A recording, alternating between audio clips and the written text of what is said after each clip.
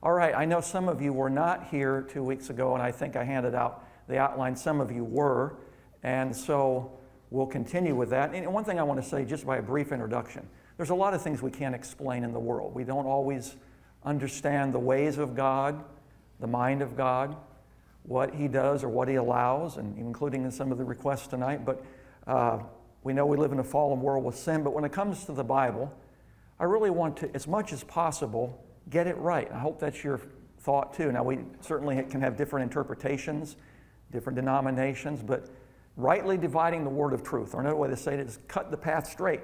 Hermeneutics, the, the science of interpreting the Bible correctly. And, you know, the longer I live, the more I really want that to be the case. We have this book of His revealed word, so we really want to understand what it says. Let's go back to Revelation chapter 11. And uh, if you weren't here, I'm going to try to, for the sake of time, I will review the outline, but I don't want to uh, belabor it. So have your pen or pencil ready. And I'm going to read, and then we'll try to fill in the blanks. We pretty much got down to the bottom half of number of page one, but go back to Revelation 11. I do want to begin reading. I got my big black King James Bible, so follow along, all right? Revelation chapter 11.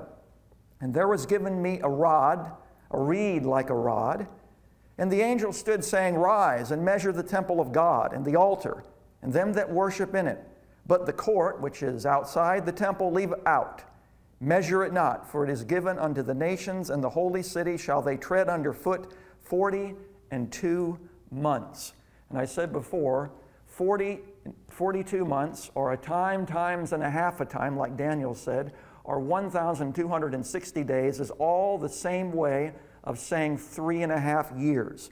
So if you have your outline and you weren't here, fill in under, and by the way, I've given you a nice little thing to remember at the top. We're talking in the chapter about a towering temple, two witnesses, a terrible tormentor, tongues and tribes, tremendous tremor, and the seventh trumpet, all beginning with the letter T.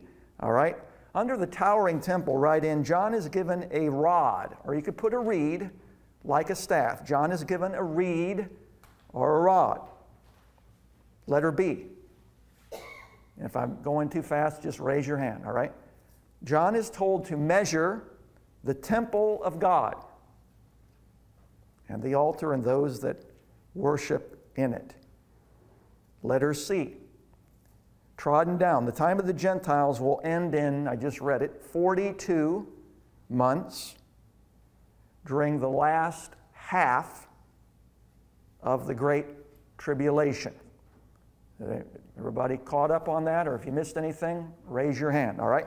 By the way, I bring up the other viewpoints just for a moment, not belaboring it, but as I said, there are differences. For example, with the 1,260 days or 42 months, the historical view of Revelation, which is all of these are past tense, but the, to them, the measuring of the temple represents the determining of the true remnant church in the midst of the uh, papal, or papal, excuse me, or papal, excuse me, that's how you say it, the papal church during the time of the Reformation. When I say papal, I'm talking about the Holy Roman Empire, Catholicism, the Pope, and the archbishops, and the control that they had. So, papal, that's what I mean when I say that. So, for them, it's the true church is the measuring of the temple represents the true church amidst the papal control before the Great Reformation. To them, the 1,260 days are actually 1,260 years, being the duration of the power of papal Rome. The two witnesses that we'll talk about to them represent, and I mentioned these groups before, the Waldenses, the Albigenses, and others that resisted the Pope in the years before the Reformation, or the series of popes, if you will.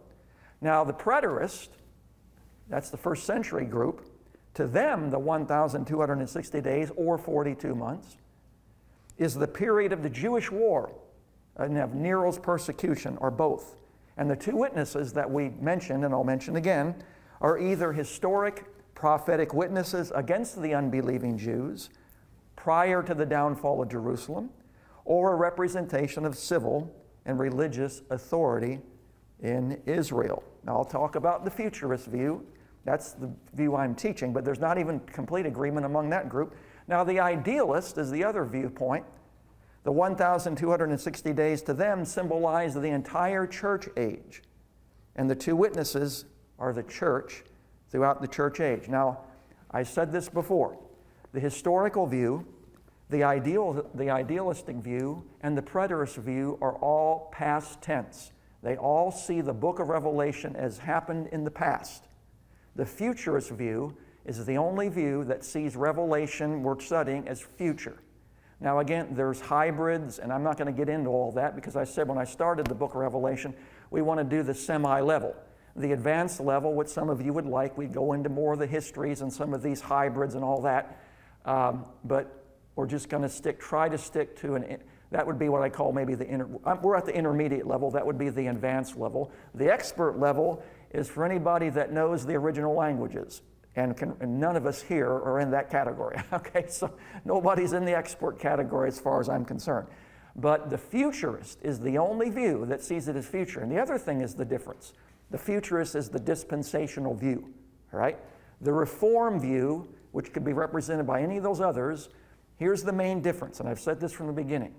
They do not see a place for the nation Israel in the program of God. Is everybody clear on that? The futurist view sees a program for Israel as a nation in the future. None of those other viewpoints do. They see them as either the church has replaced Israel, become the true Israel, spiritual Israel, whatever. All right, so that's the main difference. I, I want to clarify that for you, all right? But I do want to be fair and try to, as much as possible, represent them as well. Now, let's read, and by the way, I forgot to mention this from verses 1 and 2.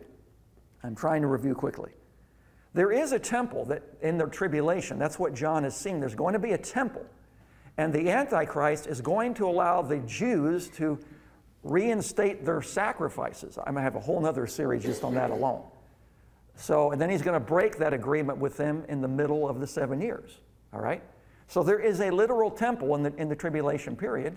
There evident, there's, certain, there's going to be a literal temple in the 1,000 year millennial kingdom. Whether it's the same one, it's probably destroyed and they'll have to rebuild it, right? So there's going to be a temple in the millennial kingdom.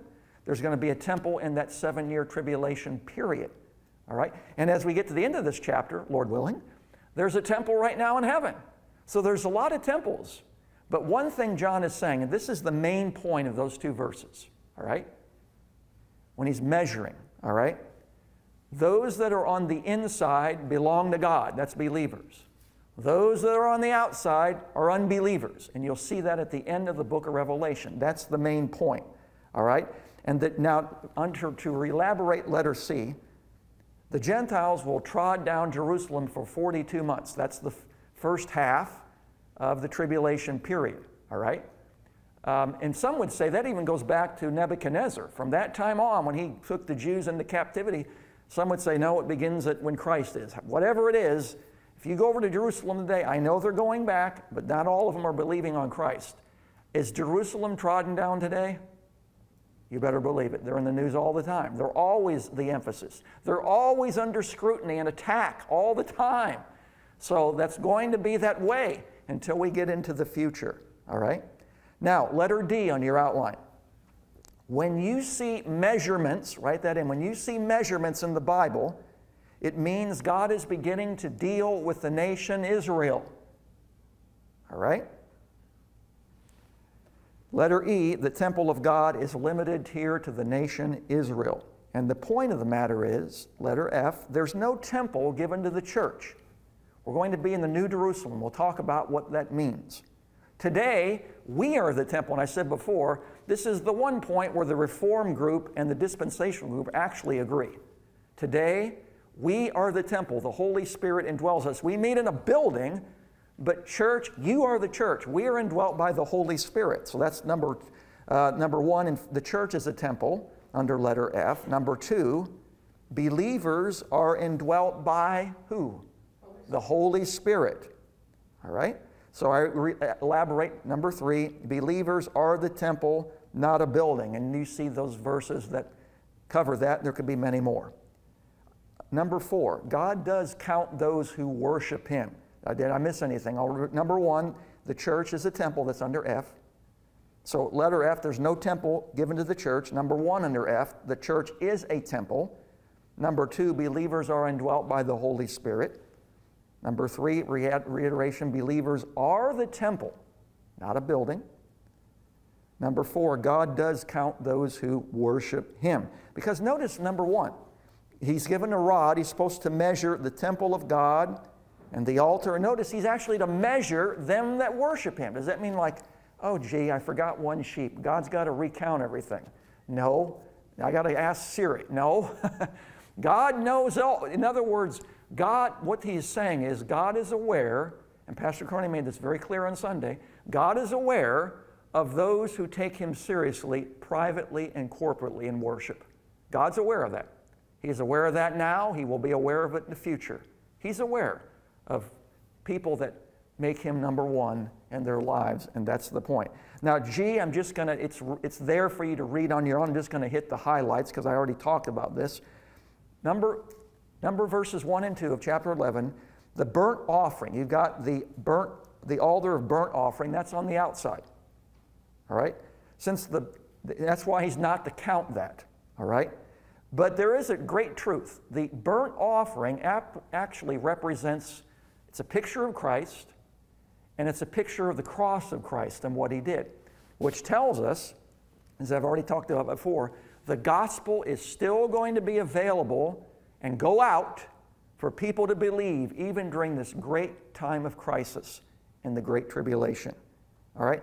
And I, I could say so much about what Sean talked about, and I know some of it might have been a little deep on Sunday night, but praise, and you saw how elaborate the process is, didn't you? To just get it into the native tongue and all those different groups. And man, it's a, it's a process, isn't it? To get that into the language of the people. And then even then there's changes. I, was, I marveled about that because I thought about how God allowed men to not determine what goes in this book, to discover by the providence of God the 66 books that we have. And I said before, to understand Revelation, uh, you need to have a little bit of understanding of the other 65 books of the Bible that precede it.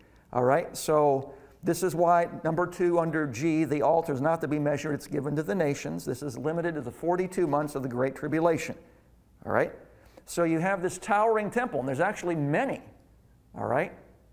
And in fact, Ezekiel gave a whole lengthy chapters about it. And some of it was they were in captivity. He was basically saying, when you guys go back to the land, this is how you're going to rebuild the temple. We'll talk about that in a moment. It was a smaller version of Solomon's temple, but Herod expanded it on it, and that's the temple you see in the time of Christ. But John is seeing a temple in the tribulation period. All right? So now we go to the two witnesses. They're germane, they're very important to this book and this chapter. Number three, I'm under Revelation 11. Here we go, verse 3. And I will give, it's understood, not written in, but I will give authority or power. I will give unto my two witnesses, and they shall prophesy 2,203 score days. That's the 1,260 days, clothed in sackcloth.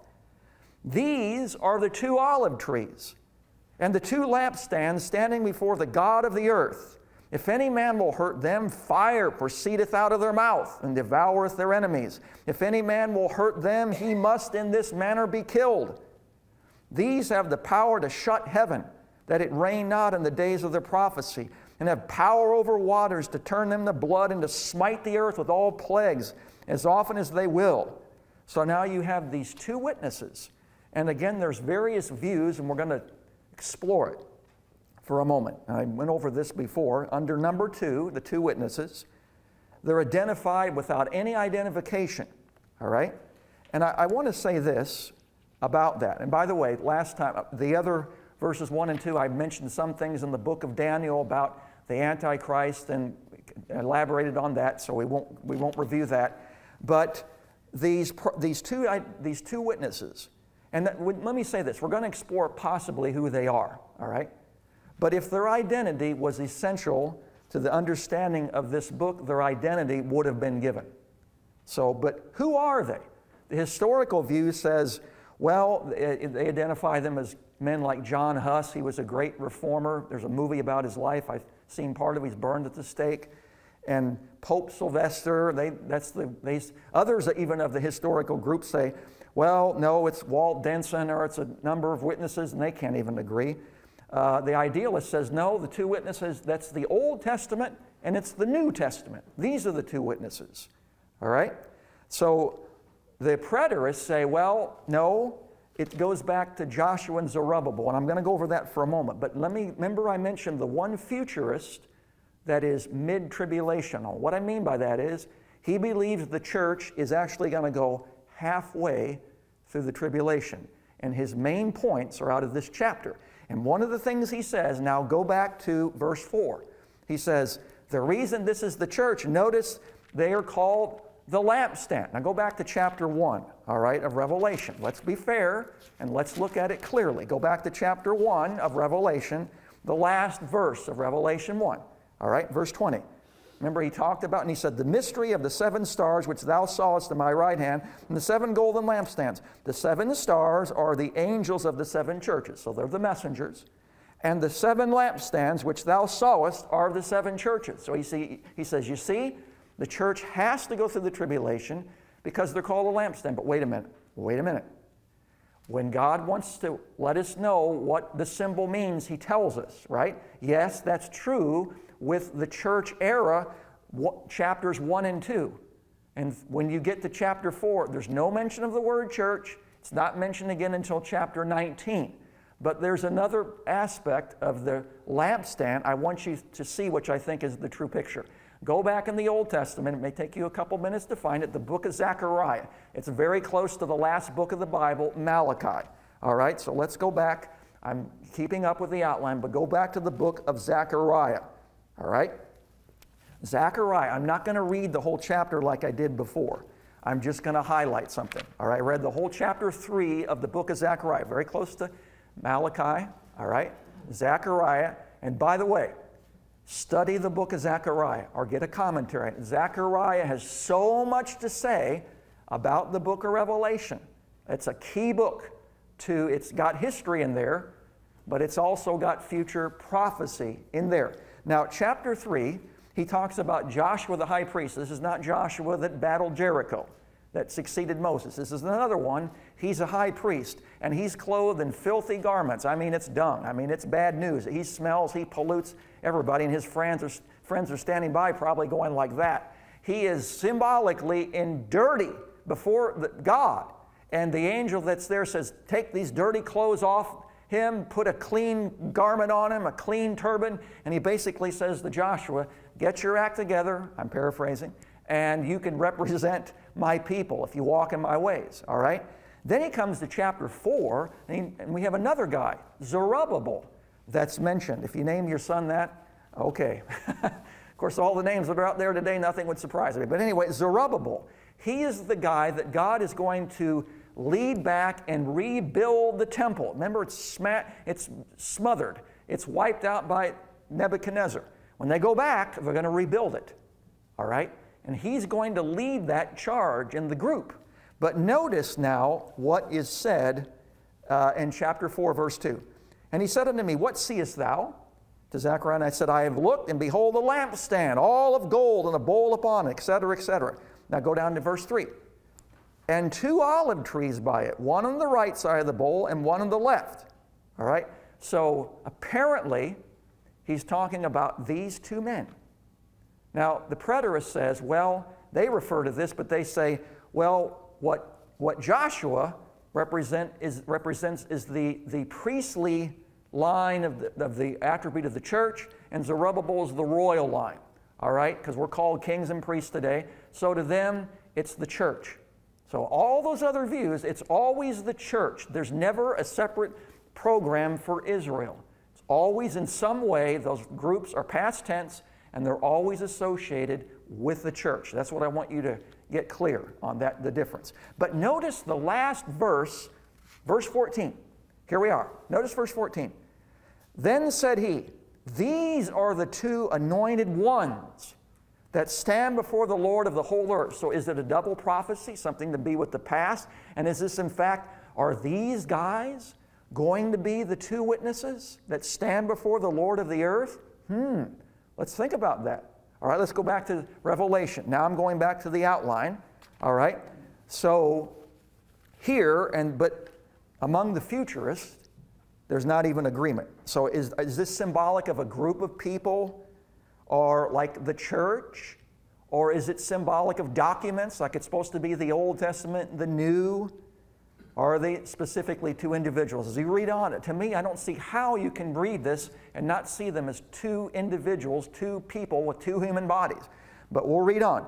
Now, under your outline, letter D, under Roman numeral 2, among futurists, of which I am, there's not complete agreement. Some see them as Enoch and Elijah. Why would that be? Somebody answered that last week. They didn't die, they were just translated right on up. Here's something fascinating. Go to the book of Jude, right next to Revelation, all right? Go to the book of Jude, and here's something I think connects us right in with Revelation. Now, in the book of Jude, it's only one chapter, all right? So have you found it? Right next to, here we go. In Jude, notice verse 9. Michael, the archangel, when contending with the devil, he disputed about the body of Moses and dared not to bring against him a railing accusation, but said, The Lord rebuke thee.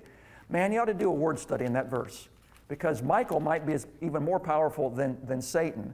But what is the dispute about the body? I mean, didn't we read that God buried the body of Moses? But wait a minute. Hmm.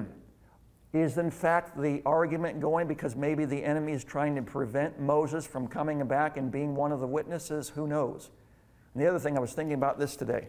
In my natural self, I'm terrified of the enemy because I know I'm no match for him. And if Michael, the archangel, can not even rebuke him himself, but say, The Lord rebuke you, that's what we need to do. You know, but we are greater is he that is in me and you than he what that is in the world. All right? So uh, we need to remember that. But that's a fascinating thought, but that's not the main thing I wanted to read. Then he talks about false, he talks about false teachers and deceivers, and he talks about Cain, but go to the end of Jude. Having trouble turning my page here, but uh, he talks about Cain. I'll get it in a moment. I don't use this as much. All right, here we are. Now notice verse 14. Verses 12 and 13 is talking about all the false prophets and deceivers. Notice verse 14. And Enoch, or Enoch, also the seventh from Adam, prophesied of these, talking about what these? The false prophets, saying, Behold, the Lord cometh with 10,000 of his saints to execute judgment on all and to convict all who are ungodly among them of all their ungodly deeds which the ungodly have committed, and of all their hard speeches which ungodly sinners have spoken against him. And then he talks about the description of them. Do you realize that Enoch is prophesying about the second coming of the Lord? That's right.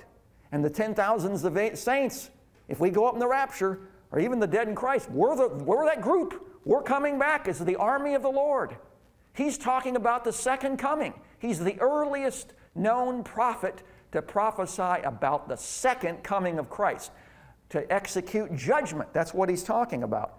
All right, and it's a fascinating thought when you think about it. There is a non canonical book called the Book of Enoch, where this is, you know, Jude. Doesn't mean that Jude thought that book was authoritative, but if it's the truth of God, he will reveal it. The truth of the matter is, the book of Enoch probably quoted from Jude. But this is fascinating uh, that this godly Enoch is the earliest recorded revelation about the second coming of Christ. So some say, you see, go back to Revelation 11. Some would say, because of that, he's going to be this witness. Because when you look at this chapter, the witnesses are going to be declaring judgment, they're going to be talking about the coming of Christ. And so it's got to be to some people Enoch and Elijah, and particularly because they did not die, so they can come back.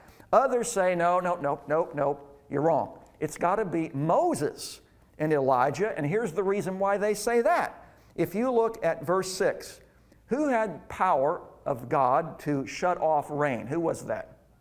Elijah, right? And who had the power? And by the way, why, did, why was it? Because Ahab married wicked Queen Jezebel, and they wanted to bring in Ashtoreth and Baal, and they were the agricultural gods, so we got to, we got to give homage to them so our crops are good. God said, I can take care of that. We can just wipe drought out, and Elijah, you pray, and I'll bring it forth. And that's what happened. All right? But it, who had power, on the other hand, to smite the earth with all kind of plagues under the power of God and to turn the river into blood? Who was that? Moses, right? So some say it's got to be, and by the way, who, who appeared on the Mount of Transfiguration? Moses and Elijah. And I said, Peter recognized him, he never even met him, right? We'll be able to recognize our loved ones in heaven. Absolutely. But Peter never saw them, but they were up there. So some say, look, you're not looking at the, you're not looking at it correctly. Look at the plagues. It's got to be Moses and Elijah. Under number three, it could be unknown witnesses, and that is, we don't know who they are yet. They could be human witnesses, and I think that they, that I'm saying they are human witnesses from their description of them. Two is always the required number of witnesses. It wasn't a group, it was two people. That goes back to Deuteronomy, Matthew 18. Now, McGee says this, and can, he's not dogmatic, but he's got good argument. He says one of them has to be Elijah because it was prophesied that Elijah would return. Now, I hope you didn't stray too far from Zechariah. Let's go back to Malachi. So uh, some say it has to be Joshua and Zerubbabel because it says they're going to be the two, there's going to be two anointed witnesses on the earth. It's not named, but that's an interesting way to end that chapter, right? Now in Malachi, notice chapter 3, all right? Let's see if you can guess who this is. Malachi chapter 3, verse 1. Behold, I will send my messenger, and he shall prepare the way before me. And the Lord whom ye seek shall come suddenly to his temple, even the messenger of the covenant whom ye delight in. And behold, he, he shall come, saith the Lord of hosts. Who do you think that is? John the Baptist. That's exactly right. He will prepare the way for the Lord. Good, Martha. That's exactly right. But here's something interesting. That is quoted. It is that the first part of verse 1 is quoted about John the Baptist, so we know that's the case from Matthew 11:10, Mark chapter 1 verse 2 and Luke chapter 7 verse 27. But the next words, the Lord whom you seek, is nowhere quoted in the New Testament. And the reason is, read on verse 2. But who may abide the day of his coming? And who shall stand when he appeareth? For he's like a refiner's fire, and like the fuller's soap. He shall sit like a refiner and purifier of silver. He, silver. he shall purify the sons of Levi and purge them like gold and silver, that they may offer unto the Lord an offering in righteousness. Then shall the offering of Judah and Jerusalem be pleasant unto the Lord as in the days of old, as in the former years. How can you not see Israel there? But did he do that in his first coming? No, he came as a lamb, right? He, he was sacrificial lamb. This is talking about when he comes back in judgment. But here's the point. Malachi, so like a lot of the other prophets, didn't see an interval between the first and the second coming. They just kind of saw them as one event. We don't get that distinction until the New Testament. So Malachi just viewed both advents of Christ as one because those verses, you only get the first part of verse 1 quoted in the New Testament not the rest of it. Malachi is talking about the second coming, all right? But he's also talking about John the Baptist. But because the rest of that is dealing with the future, some say John the Baptist has got to be one of those witnesses. Go over to Malachi 4. Now we come to another verse. Let me see if you can guess who this is in Malachi chapter 4. And again, behold, the day cometh and it will burn like an oven. I think he's talking ultimately about the future. But notice now verse 4 Remember the law of Moses, my servant, whom I commanded unto him in Horeb. But here's the key verse, verse 5 Behold, I will send you who? Elijah the prophet before the coming of the great and terrible day of the Lord. And he shall turn the hearts of the fathers to their children, and the heart of the children to their fathers, lest I come and smite the earth with a curse. So in Jesus, we won't read, I read that last time Matthew. Jesus said, Elijah has come, referring to John the Baptist, but he says Elijah is coming.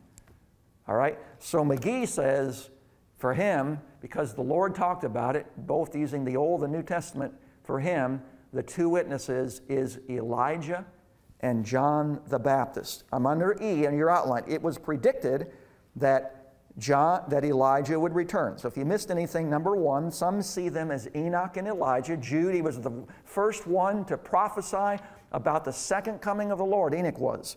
And then Elijah. Some say, no, look at the plagues. It's got to be Moses and Elijah. Letter E, it was predicted that Elijah would return. I just read that. Jesus affirmed that. Then, letter F, the two olive trees and the two lampstands, all right? And so we looked at that being Joshua and Zerubbabel, whether it was only for that day or is it also for the future day? Hmm, all right? So, number one under F, the presence of Elijah on the Mount of Transfiguration. For some, that's strong evidence as well as Moses. Number three on your second page outline, John the Baptist was the forerunner to Christ at his first coming. He was like Elijah. They wore sackcloth, they were out in the desert. They knew what it was to stand against the forces of darkness and stand alone for God. John the Baptist was the witness for the New Testament. Elijah was the witness for God in the Old Testament. But John the Baptist was not actually part of the church. He was called what? A friend a friend of the bridegroom. We are the bride. He was called the friend, you see. But because of the various prophecies, some see the two witnesses as John the Baptist and Elijah. Some say it would be less likely to be Enoch because he was a Gentile. I don't know that that's a major strong point, but the truth is, and this is the main deal, letter G, the significance is not the identity of the two witnesses, but the time in which they appear. This is key. I'm going to repeat that because this is the main point that I think is very important. It is the significance is not the identity of the two witnesses, but the time in which they appear. All right? The time would seem to be the first half of the tribulation, that they would testify the first three and a half years or 1,260 days. All right? So that's key. So the, I repeat, the significance is not the, the identity, but the time in which they appear. Under 2, under G, they testify till the beast appears and then they are martyred. And I want to repeat number 3 now, following along in your outline. Everything here is associated with the Old Testament. You've got the temple, You've got the altar, they're clothed in sackcloth, it's Old Testament garb. And then we talked about Zechariah, the two trees and the two lampstands, Joshua, B, and who was it? Zerubbabel, all right? Z E R U B B A B E L. Letter C. Those two men, and any of these two men, but particularly Joshua and Zerubbabel, and by the way, he told Zerubbabel, look, it's not by your brains or your brawn or by might or power that you're going to bring about the temple, but by my Holy Spirit. Holy Spirit was present in the Old Testament. He came upon men for power. Whether he indwelled everybody, probably not. That's probably for the church age. He's going to be present in the tribulation. He doesn't have to have the church here to do his work. His restraining ministry will be gone. And that's when all forces of darkness will have their heyday in Revelation. But the Holy Spirit is going to, he's going to empower that 144,000 and those Gentiles to bring about revival. He will be working, you see. Now, again, so I, that's my point under D, under letter G. Number four, whoever these men are, they were given great miraculous powers. They could bring fire down from heaven. They were filled with the Holy Spirit, and some say that's got to be Elijah because he brought down fire on the sacrifices of Baal. John the Baptist was described as baptizing with fire. Number six, these witnesses have power, or you could put authority, either one. They're immortal, they're immune to danger. I mean, if you try to challenge them, you'll be put to death. Think about the things they're able to do that only Christ could do until their mission is complete. And listen for all of us. The same is true for you and me. God's not going to take us home until his mission for you is complete. Remember that. It's a great truth, isn't it? All right, so again, now we come to, so we go from the towering temple to the two witnesses to the terrible tormentor. And he is terrible. Verse 7 And they shall, and when they have finished their testimony, the beast that ascendeth out of the bottomless pit shall make war against them and shall overcome them and kill them. How on earth could this beast, it's the Antichrist, how could he stand against these two witnesses when they had this great power? Amazing. Well, the Antichrist is the beast, so let me make sure we're caught up in the outline here.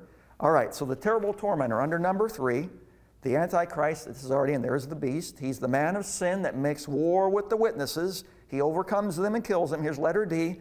There is a temporary victory of evil over good, or hell over heaven.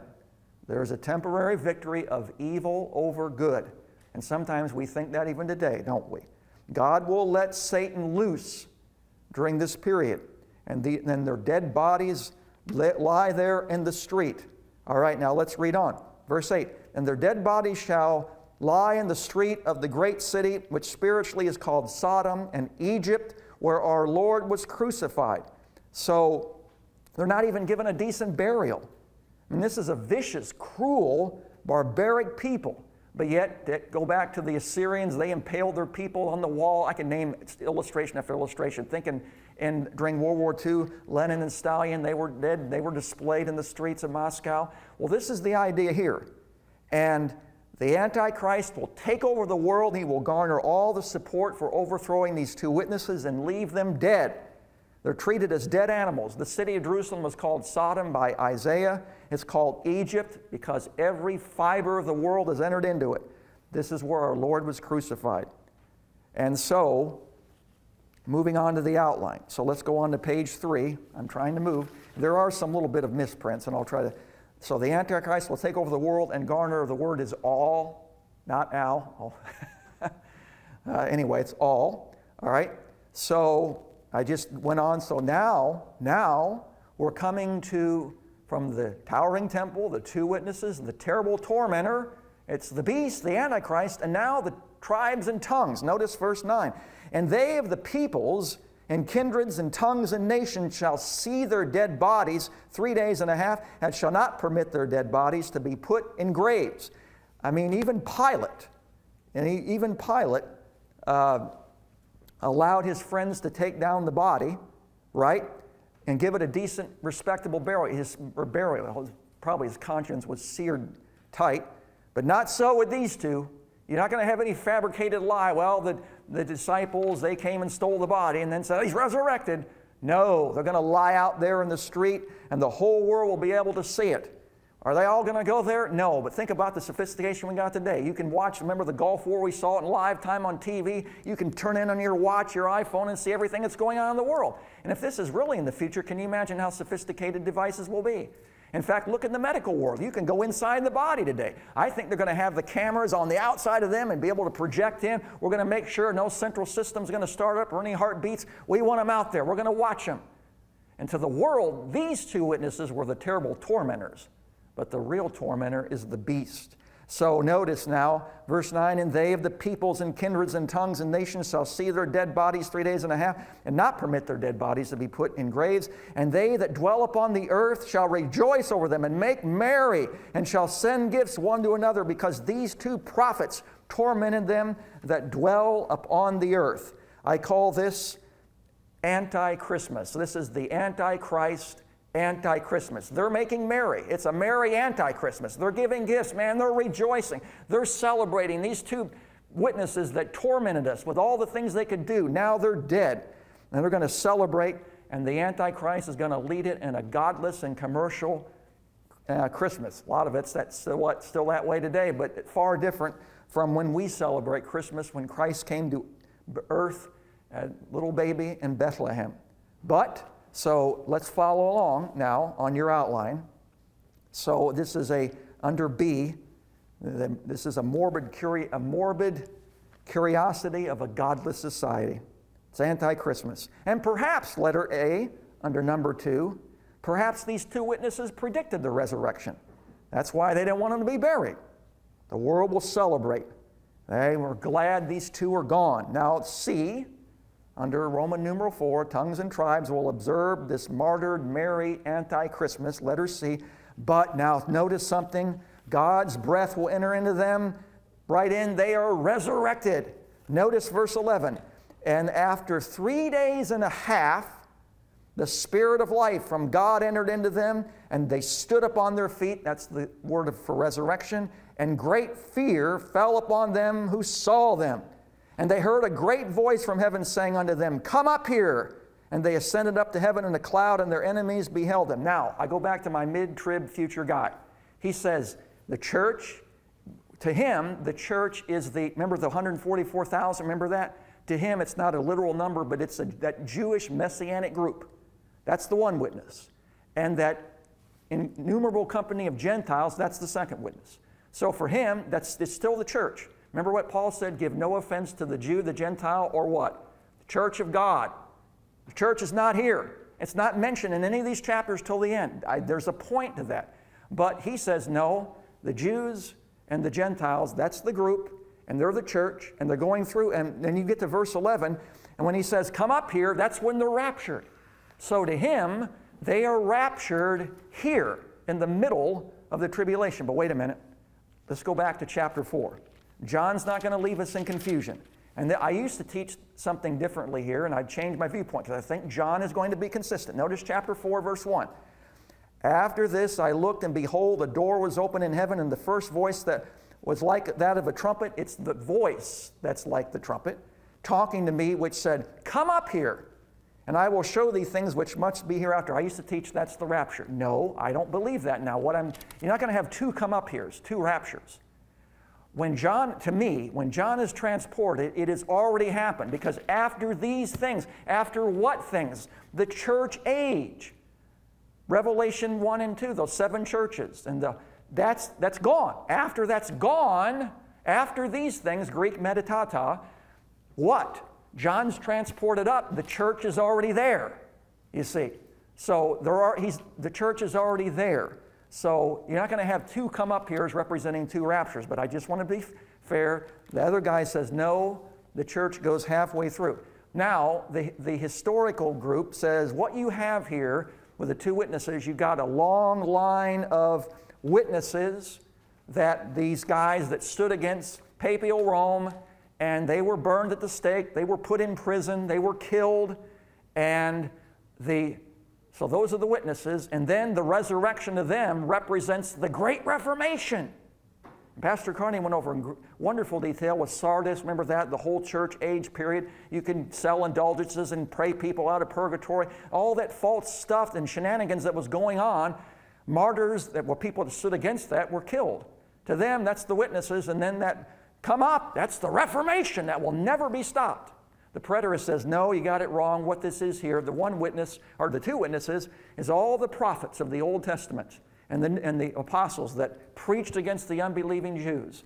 And then the, the come up here, the resurrection, that's the birth of the church. And the church's message is going to go forth and not be stopped. And even among that group, some say, well, the one witness is all the prophets, and the second witness and the final witness is Jesus Christ who rose from the dead and the birth of the church. All right? Those things are all true, but it's all past tense. As a futurist, what I believe John is teaching us through God is this is future. These are two witnesses in the future, not in the past. And they have a special resurrection, all right? In fact, I'm going to have, a, I meant to do this at the beginning. I'm going to have, I'm going to have you participate before I close out tonight. I'm going to have some of you stand up. You don't have to say anything. I'm just going to have you stand up and represent a group. So I want to get to that. I trust that we'll close out the, chapter. But let's read on. So these are two, by the way, if you go back to the, the guy's view that this is the church and their dead bodies, if that's the whole church, there's no way they could just be in Jerusalem.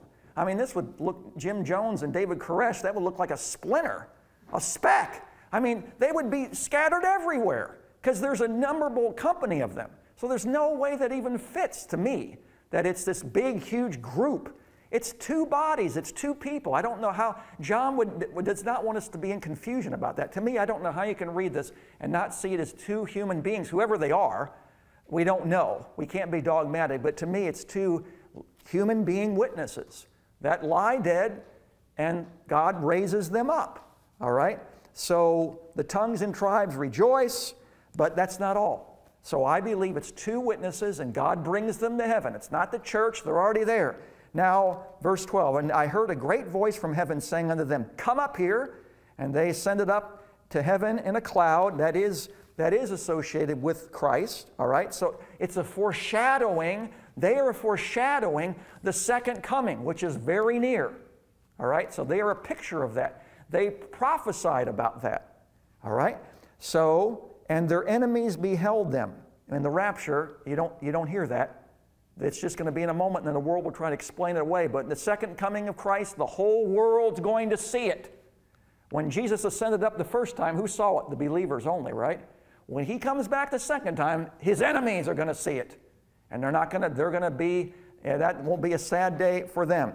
Now, verse 13, in the same hour there was a great earthquake. So this is the tremendous tremor on your outline. The tremendous tremors, the great earthquake and a tenth part of the city fell, and the earth, and in the earthquake were slain of men seven thousand, and the remnant were terrified and gave glory to the God of heaven. Apparently, this probably uh, opened the light to some unbelieving Jews, and they believed. And there were some there that probably got saved. Another tremendous tremor under A, verse 14. The second woe is past. Behold, the third woe cometh quickly.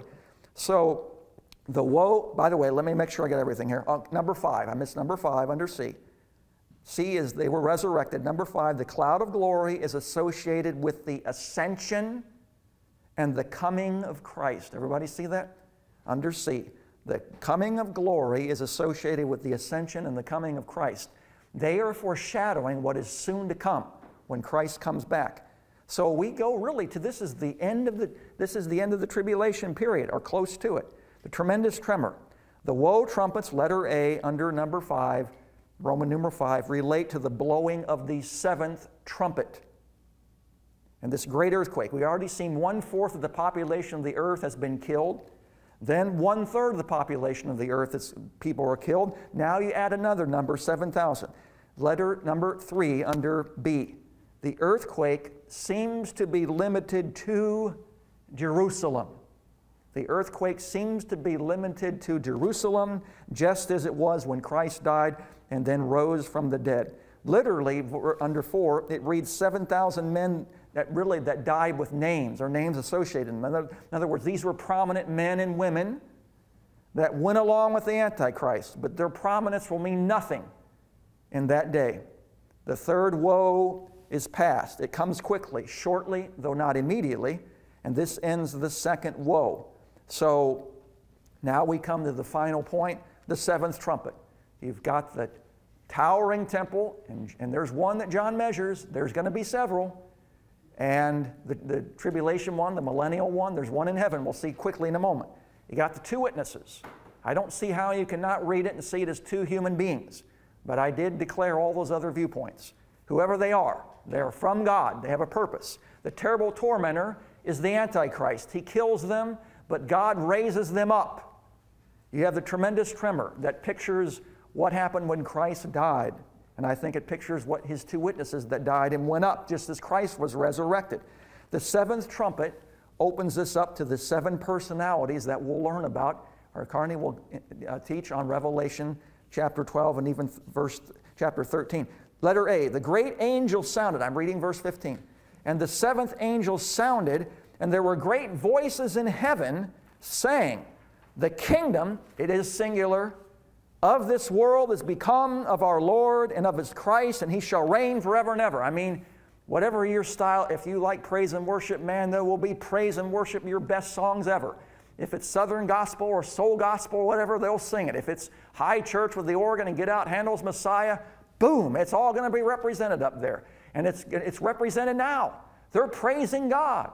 And I hope we put it into practice too wonderful praise going on. And why are they praising? In the verse 16, and the 20 and four elders, I believe it's the church. Some say the 12 apostles, 12 tribes, but uh, whoever, we're not, they're not identified. To me, I think it's the church who sat before God on their thrones, fell upon their faces, and worshiped God, saying, We give thee thanks, O Lord God Almighty. Notice the names that are given him, who art and was and art to come. He's eternal. He's in control. He's reigning. He's in charge of the events that are going on. And let's stop there for a moment and go back to the outline. So on page five, and uh, reading on, and the nations were angry that thy wrath has come and the time of the dead that they should be judged. I hope I didn't, I want to make sure I didn't miss something because I wanted to go over. yeah, I did miss something. I want to go back to page four. This is what Pastor Carney went over, but I wanted to review that. I know I skipped the whole page, didn't I? All right, so under, that's what happens when you're using a lot of pages. Okay, so I'm on page four. I will move through it quickly. The, the verses 15 and 19, this is the parentheses, all right? So we're in the, this terrible tribulation. And then John shifts us to the future. It's a parentheses. We're at the end of the tribulation. Then he shifts us to the eternity, to the opening of the temple in heaven. So you've got all this chaos and judgment. Why is this section here? I believe to encourage the believers that are on earth those that are sealed, I believe that 144,000 in those Gentiles, they're sealed. They're going to make it all the way through the tribulation. They're going to be the ones repopulating the earth in their natural bodies. You see, all right? So that's very important. All right? So, number two, so it, this is in the program of God. It takes us right to eternity. The mystery of God is unraveled. Here's the point, letter B. This, bring, this brings a summary of events to the door of, right in, eternity. Eternity.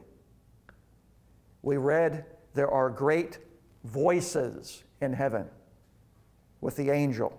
Great voices, unlike the silence in heaven when the seventh seal was opened. Remember when the seventh seal, it was that silent period, the last measure of God's grace before all judgment falls upon the earth.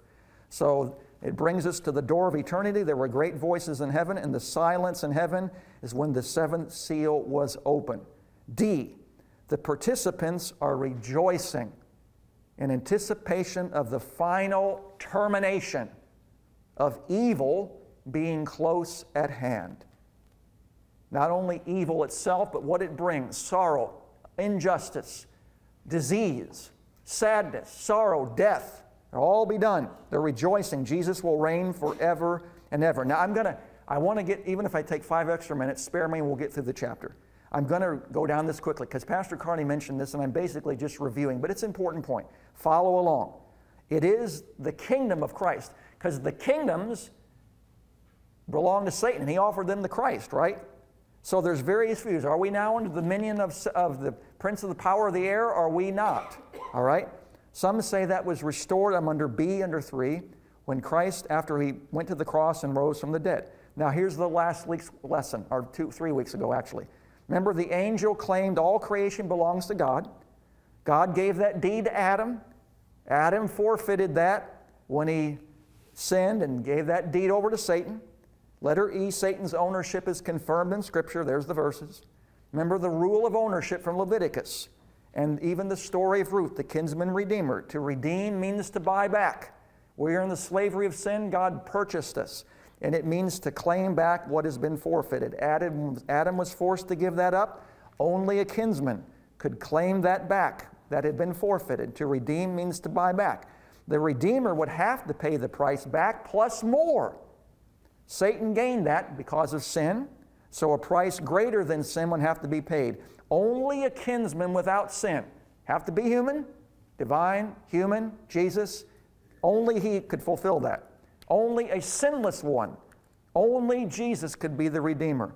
Remember Revelation 5, the seven seal book? Is anybody worthy to open it? Is any man, any woman? No. Only Christ is worthy to open that book. He's the new Adam. Now, quickly, how do I reconcile the two? Here's what I say. I believe 1 John 3:14, we have been transferred out of the kingdom of darkness to the kingdom of light. So I believe for believers, we're no longer under the dominion of Satan. We're not. But he still holds power over the world of unbelievers. And you're going to see that directly in Revelation. Today, we're not under that dominion, and the church is not under. Now, we can place ourselves it, but we don't need to be. The world is under that. So that's my reconciliation of it. God will ultimately reign over evil. Go on to page five. All right, I'm going to finish up. So the nations were angry. They're going to hold their fist at God in anger. Letter C, the carnal mind is against God. The nations are angry. Verse 18, I'm reading, and thy wrath is come, and the time of the dead, that they should be judged. That they and that thou shouldest give reward unto thy servants the prophets and to the saints and them that fear thy name small and great and shouldest destroy them who destroy the earth. And the temple of god was open in heaven and there was seen in his temple the ark of his covenant and there were lightnings and voicings thunderclaps and an earthquake and great hail. Give me five extra minutes and i will be done. One point i have this book the four views of revelation and he tries to represent them well. I don't think he's a futurist because that's the one group he kind of attacks at times. But he says this, reading these verses virtually all futurists um, see the, tr- the trumpet of the seventh angel as the heralding of the second coming of Christ to put down all opposition. I agree. And to take authority of all the nations to himself to establish his millennial kingdom on the earth. I agree. And he says, and it says he will reign forever and ever. That's the reign of Christ associated with the 1,000 years, all right? But here's what, here's what he says. Here's where I'm going to have you participate for a quick moment. One problem associated with this view, though, is in verse 18. Look at verse 18. You got a resurrection of the dead and a judgment. Dispensationalism teaches that Christians are raised at the rapture prior to the tribulation, and that the wicked are raised at the end of the millennium. However, this passage seems to place the resurrection and judgment at the end of the tribulation. On dispensational assumptions, that is seven years too late to involve the church and 1,000 years too early to be the wicked. How does one harmonize these thoughts? Well, he's missing that the judgment seat of Christ, that's for believers. I'm going to walk you through real quick so that you understand this. All right? So, I'm going to have you, I'm going to walk down. All right? So, let's have, let's pretend that this building represents the whole church age from the time of Christ on. Every, in other words, if you're the church, you are a believer. No matter what denomination you are, what ethnic group, or what part of the world, if you're a believer in Christ, you're part of the universal church. Let's say the empty pews, it's always this side for some reason. Let's say the empty pews represent the dead in Christ. Those are the ones that from time of Christ till, and even ones we've known, they're gone. They're right, they're up in heaven with the Lord but they're waiting for their new resurrected body. All right? Now, would you, would you stand up, Georgia? So, Georgia's going to represent the rapture. All right? So, if we're alive and he comes back, the dead in Christ, what? They rise first, right? And then we will be caught up with them to meet the Lord in the air. That's number one resurrection. That's the first resurrection, all right? Now, we're moving down. We're going to pretend we're walking down seven years of tribulation, right? All right? Now, Randy, would you stand up? All right? So here's number two revelation, or resurrection, excuse me. So the second resurrection is in that seven year period. There's going to be a sealed group, I believe is going to make it through, the 144,000 and the Gentiles, but there's going to be a lot of tribulation saints that die. In fact, most will because of the plagues and the Antichrist. They've died. So when you get to the end of the, of the seven years, the second resurrection is for the Old Testament believers and the tribulation saints that have died. The kingdom is for them. You see, the church is already in heaven. That represents George, right?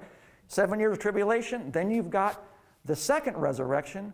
That's for all those tribulation saints that have been killed, right? And the Old Testament saints, that's when they're raised.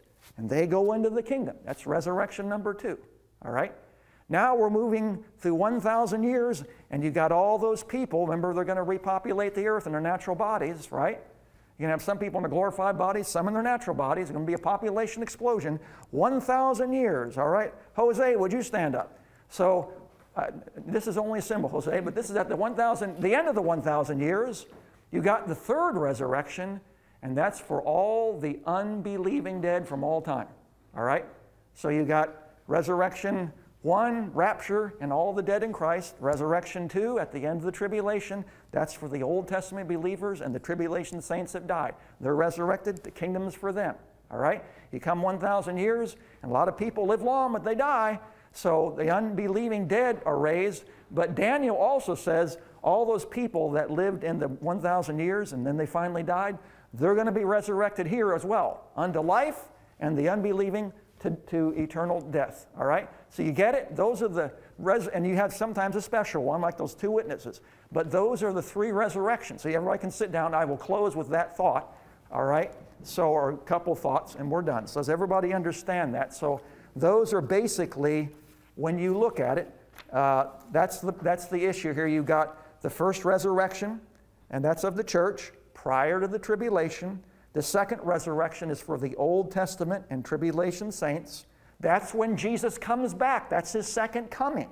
His second coming is when the Old Testament the saints, believers, and the tribulation saints that have died will be resurrected and go into the kingdom. The third resurrection is for all the unbelieving dead at the end of the 1,000 years, and also for those that lived in the millennium and died, and they're resurrected to go unto the Lord. All right? The final thought from the temple, and this is where Carney will take us into uh, the following week. So I'm on your end of your outline. Number five. The temple of God is open, and the church does not have a temple. We're the temple. There's no temple. There's a temple here, but that's in heaven. That's why, right in Moses had the tabernacle built after the pattern in heaven. Moses had the tabernacle built after the pattern in heaven. Letter C, since the temple is open, God is dealing with Israel. There is a literal temple seemingly now in heaven. All right? So worship and access, it's not are, it's not not, not, it's a misprint, are now open for Israel. The church has no temple. We are the temple. The prominence is for Israel. Finally, the covenant making and the covenant keeping God is evident. And I believe what he has said to Israel, you heard this verse on our Sundays, the gifts and callings of God are without repentance. So all those lightnings and thunders, that speaks of judgment to come as we'll learn about in Revelation chapter 12. Thank you for allowing me to go six minutes over. Let's all stand, all right? And don't forget to go over and uh, take the tables down. Let's close out in prayer tonight. Heavenly Father, we've dealt in a very significant chapter. We see what goes on in the Great Tribulation, and then we are taken into eternity. And that's an encouragement. It will be for those in the future, but when we read your word, let it be an encouragement and source of support for us wherever we are tonight, particularly for the prayer requests that were mentioned and ones that are on our hearts. In Jesus' name I pray, amen.